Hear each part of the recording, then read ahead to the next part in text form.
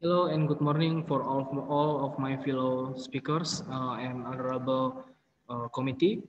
Assalamualaikum warahmatullahi wabarakatuh.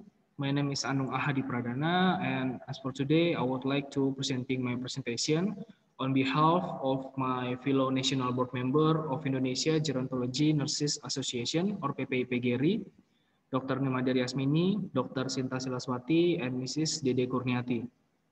Uh, the topic of my presentation is increasing the role of nurses in health services on older adults through training of trainer or TOT programs on gerontic nursing. The outline of my presentation today uh, consists of introduction, methodology or methods, uh, result and discussion, and last one is conclusion.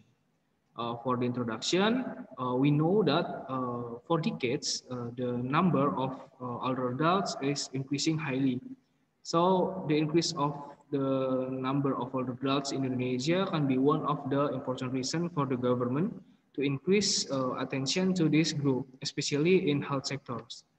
Uh, the National Board of Indonesian Gerontology Nurses Association or PPP GERI as part of the Indonesian National Nurses uh, Association or PPNI actively continues to make a positive contribution to the development of the welfare of older adults one of which is through training of trainers to create competent, competent gerontic nurses uh, in providing training in their its uh, respective area. The methodology uh, of our training of trainer was carried out uh, on 28 uh, until 30 uh, of May 2021 for 31 participants from several provinces in Indonesia uh, include uh, such as DKI Jakarta, uh, East Java, Central Java, West Java, uh, West Sumatra, West Kalimantan, and Bali. With a total implementation time of 30 GPL, consisting of several topics, uh, including one, service policies on older adults in Indonesia, two, trend and issues in genetic nursing, three, modality therapy in genetic nursing, four, training and teaching techniques, five multimedia learning design, six micro teaching, and the last one is building uh, learning commitment or BLC. For result and discussion, uh, the first one, it was found that there was an increase uh, in knowledge from participants for all of 15 questions point tested during pre-test and post-test. The second one, the average values or scores of the pre-test and post-test or of each point escape has increased except for one topic, uh, the concept of teamwork or group stage topic that still remains same with the pretest uh, one. Three, the differences uh, in the average scores between the pretest and post-test is positive 5.10 points uh, from a scale of 15. Four, the result of the Wilcoxon test analysis, uh, non-parametric analysis of the pretest and post-test data of the training of trainer activity shows that there are benefit uh, obtained from the gerontic nursing training for trainers activities for nurses with the significance level uh, score uh, 0.000 or below 0.05.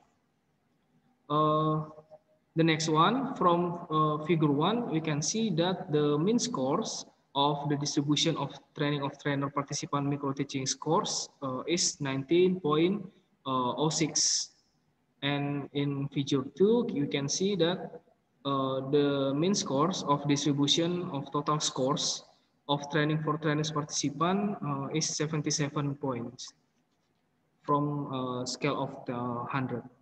So uh, what do we learn from this program? Uh, we must know that the increasing number of the elder adults indicates the sti uh, negative stigma in society about older adults uh, and the low level of accessible health services in Indonesia can be a barrier uh, in the attention of health workers uh, to the welfare of older adults, even in Indonesia itself.